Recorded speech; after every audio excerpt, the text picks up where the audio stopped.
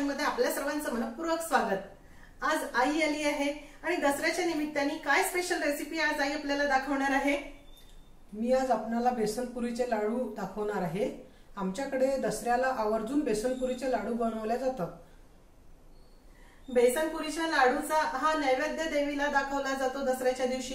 म्हणजे चना डाळीचे पदार्थ त्या दिवशी बनवले जातात. बेसनपुरीचे लाडू हा एक पारंपरिक लाडवाचा प्रकार आहे. अतिशय सोप्या पद्धतीने आणि परफेक्ट मेजरमेंटने आई आज तुम्हाला हे लाडू बनवून दाखवणार आहे. म्हणजे अगदी नवशिक्यांनी पहिल्यांदा जरी बनवले तरीही चुकणार नाही. आज आई तुम्हाला किलोमध्ये तसेच तुम्हाला कपानी देखील हे बेसनच्या लाडूचं प्रमाण सांगणार आहे. त्यामुळे लाडू चुकण्याची शक्यता नाहीच.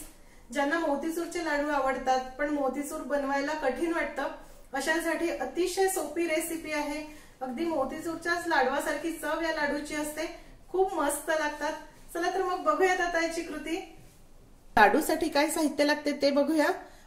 आज मी तुम्हाला कप आणि किलोग्रॅम दोन्ही मध्ये प्रमाण सांगणार आहे. म्हणजे आयत्या वेळी जर तुमच्याकडे वजन काटा नसेल तर तुम्ही ह्या कपानी सुद्धा हे लाडू अगदी परफेक्ट मोजू शकतात परफेक्ट बनवू शकतात. त्यासाठी आपल्याला लागणार आहे चार कप बेसन. हे वजनी मोजलं. तर अर्धा किलो बेसन. हा. आणि ही साखर दोन कप साखर आणि वजनी मोजली तर अर्धा किलो साखर. सुरुवातीला आपण बेसन घेऊया. किंचित जाडसर बेसन पाहिजे लाडू करता. बेसनामध्ये थोडंसं मीठ घालूया चवीपुरतं. अगदी चिमूटभर मीठ घालायचं आहे. आता पाणी टाकून बेसन आपण भिजवून घेऊ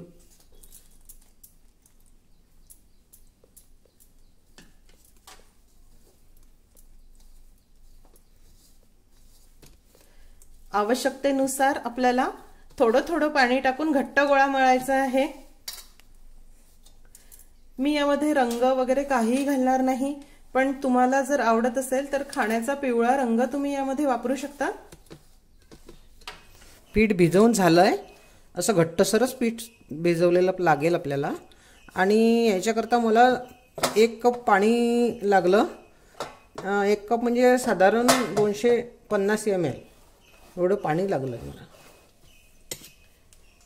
आपल्याला हे पुरीचं जे पीठ आहे हे घट्टसरच भिजवायचं आहे.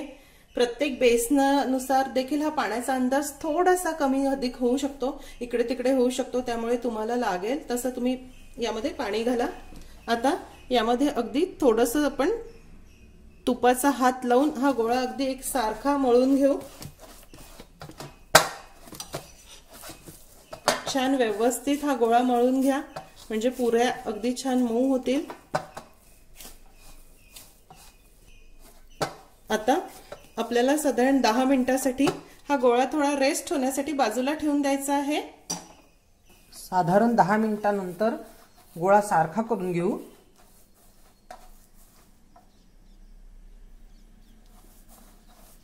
आता याचे लहान लहान गोळे करू.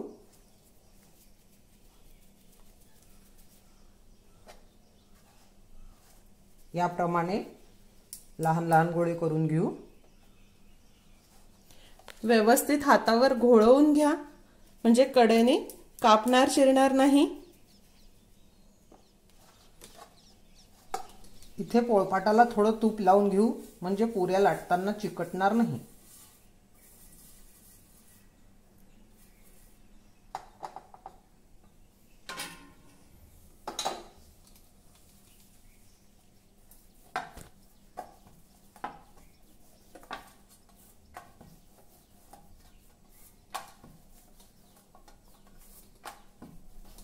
तुमच्याकडे पुरी प्रेस असेल तर तुम्ही पुरी प्रेसने देखील ह्या पुऱ्या करू शकता.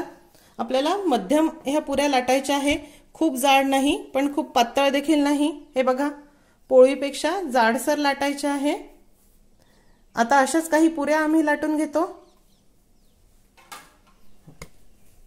इथे काही पुऱ्या आम्ही लाटून घेतल्या आहे. आता ते आपण तळून घेऊ.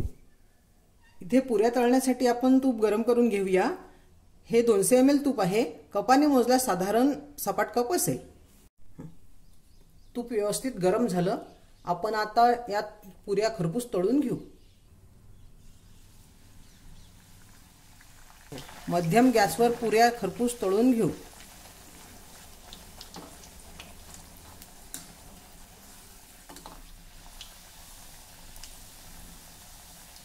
खूप मस्त लागतात हे लाडू. आमच्याकडे दसऱ्याला या लाडूंचाच नैवेद्य असतो. देवीला हरभऱ्याच्या डाळीचा नैवेद्य बरेच जण करतात. त्यामुळे काही ठिकाणी पुरण बनवतात. आमच्याकडे हे लाडू बनवले जातात. त्यामुळे प्रसाद वाटायला देखील सोयीचा होतो. हे बघा पुरी व्यवस्थित तळून झाली. छान अगदी हलक्या तांबूस रंगावर तळल्या गेली आहे. आता आपण ती काढून घेऊया. अशा सर्व पुरी आपण तळून घेऊ. मध्यम गॅसवर छान खमंग ह्या पुऱ्या तळून घ्या. सर्व पुऱ्या तळून झाल्या आपण हाताने जरा जरा बारीक करून घेऊ.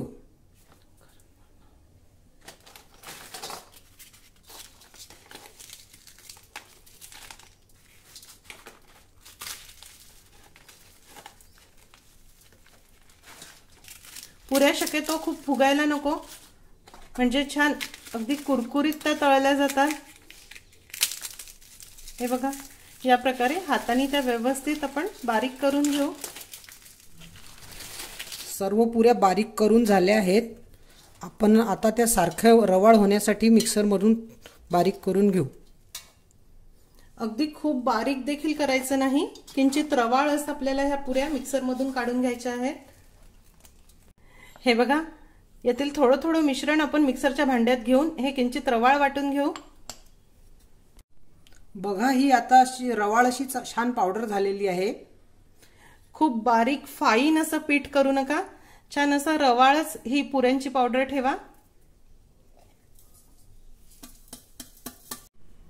ही आपण पावडर करून घेतली आहे. ही आता कोरडी वाटत आहे म्हणून आपण थोडी तुपामध्ये परतवून घेऊ.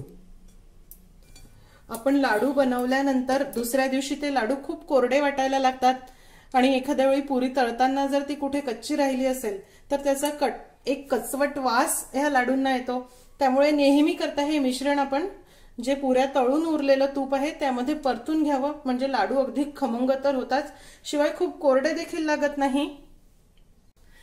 हे बघा हे पुऱ्या तळून उरलेलं गरम तूप आहे. चाळणीने थोडं गाळून घेऊ आपण. काही कण असतील तर ते निघून जातील. आणि आता अगदी मंद गॅसवर साधारण पाच मिनिटासाठी आपल्याला हे व्यवस्थित परतवून घ्यायचं आहे. असं परतल्यामुळे हे खूप छान खमंग होते. गॅसची फ्लेम अगदी मंद ठेवा. आणि व्यवस्थित हे परतवून घ्या. अगदी खूप कमी तुपात बनवलेले लाडू मग गार झाल्यानंतर किंवा दुसऱ्या दिवशी थोडे मुरल्यानंतर खूप कोरडे वाटतात. त्यामुळे एवढं तूप या लाडूंना लागतंच. अगदी परफेक्ट प्रमाण आहे. आता हे मिश्रण व्यवस्थित परतून झालं खमंग पण झालंय. आता आपण हे एका भांड्यामध्ये काढून घेऊ. आता आपण पाक करून घेऊ. साखरेचा पाक बनवण्यासाठी इथे आपण अर्धा किलो म्हणजेच दोन कप साखर घेतली आहे. आई ह्या दोन कप साखरेसाठी आपल्याला पाणी किती घालायचं आहे? दोन कप साखरेसाठी आपल्याला पाऊन कप पाणी म्हणजेच एकशे पंच्याऐंशी एम एल पाणी घालायचं आहे. आपल्याला घट्ट गोळीबंद पाक याचा करायचा असतो. त्यामुळे दोन कपासाठी पाऊण कप पाणी आपण घालणार आहोत. तुम्हाला एम एलमध्ये देखील पाण्याचं प्रमाण देत आहे म्हणजे पाक चुकणार नाही. आता लाडूंची चव वाढण्यासाठी आणि याला छानसा रंग येण्यासाठी इथे मी काही केशर कांड्या एक टीस्पून पाण्यामध्ये भिजत ठेवल्या होत्या. त्या घालणार आहे. केशर घालणे हे टोटली ऑप्शनल आहे. तुम्ही याऐवजी थोडा खाण्याचा रंग देखील वापरू शकता.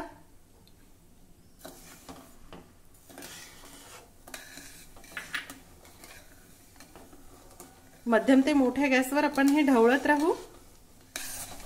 हे बघा त्याला व्यवस्थित उकळी आली. आता हा पाक झाला की नाही त्यासाठी एक टेस्ट आपल्याला करून बघायची आहे.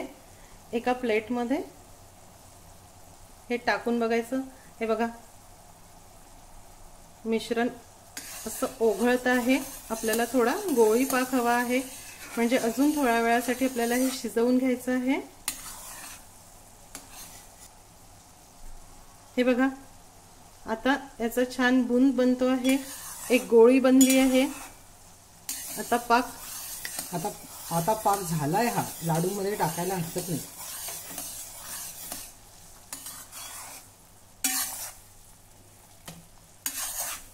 आता आपण हे पुऱ्यांचं मिश्रण यामध्ये घालूया. गॅसची फ्लेम अगदी मंद करा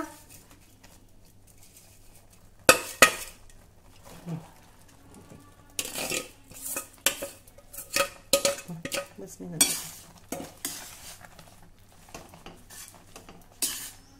यामध्ये एक ते दीड टेबलस्पून बेदाणे घालणार आहे.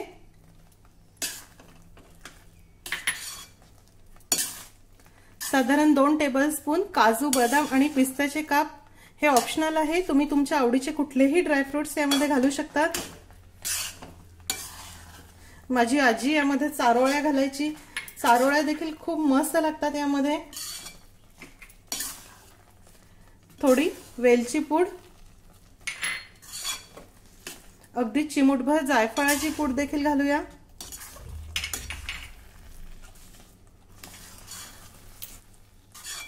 आता आपण गॅस बंद करू आणि हे मिश्रण थोडं कोमट होण्यासाठी आपण बाजूला ठेवून देऊ.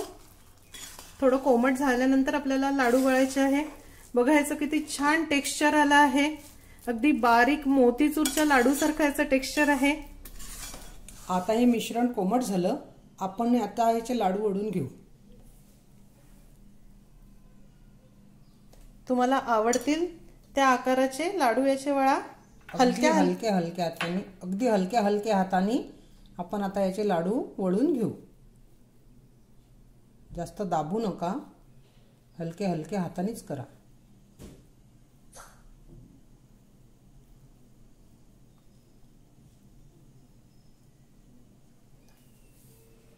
हे बघा खूप छान हा लाडू झाला आहे याचं टेक्स्चर बघा. अगदी मोतीचूरच्या लाडूप्रमाणे. आता असे सर्व लाडू आम्ही वळून घेतो. लाडू तयार आहेत. हे बघा छान मस्त कणीदार असे हे लाडू झाले आहे. तुम्हाला एक लाडू मी फोडून दाखवते. आतमध्ये देखील बघा छान मऊ आणि लुसलुशीत असे हे लाडू आहे. दिलेल्या साहित्यामध्ये मध्यम आकाराचे साधारण पस्तीस लाडू होतात. हे लाडू कोरड्या डब्यामध्ये ठेवा. पाच ते सहा दिवस देखील मस्त टिकतात. आता नवशिक्यांसाठी एक खास टिप देणार आहे. म्हणजे ज्यांना पाकाचा अंदाज येत नाही त्यांच्यासाठी तुमचा पाक जर बिघडला तर काय करायचं? जर हे लाडूचं मिश्रण कोरडं झालं लाडू वळता आले नाहीत तर यामध्ये एक ते दोन टेबलस्पून गरम पाणी घाला उकळीचं पाणी घाला. मिश्रण व्यवस्थित मिक्स करा आणि लाडू वळा. किंवा लाडूचं मिश्रण जर सैलसर झालं पाक कच्चा राहिला तर हे मिश्रण सैलसर होतं मग लाडू वळता येत नाही. अशा वेळी ते मिश्रण पुन्हा कढईमध्ये थोड्या वेळासाठी परतवून घ्या आणि थोडं कोमट झाल्यानंतर लाडू वळा. या प्रकारे लाडू तुम्ही नक्की करून बघा. लाडू जरूर बनवा. दिलेल्या प्रमाणात दीड किलो वजनाचे लाडू बनतात. ज्यांना बिझनेस म्हणून ह्या लाडूचा व्यवसाय करायचा आहे ह्यांच्यासाठी देखील अगदी परिपूर्ण आम्ही सर्व टिप्स देण्याचा प्रयत्न केला आहे. म्हणजे अर्धा किलो बेसनामध्ये वजनी किती लाडू होतात किंवा नगामध्ये किती लाडू होतात हे सर्व तुम्हाला सांगितलं आहे. ह्या प्रकारे लाडू तुम्ही नक्की करून बघा. आईची रेसिपी आणि टिप्स आवडल्या असतील तर रेसिपीला लाईक करायला व शेअर करायला विसरू नका. माझ्या चॅनलला सुद्धा नक्की सबस्क्राईब करा. अशीच एक छानशी रेसिपी घेऊन भेटूया स्वराजाटच्या पुढच्या भागामध्ये. तोपर्यंत चवी निखा आणि निरोगी राहा.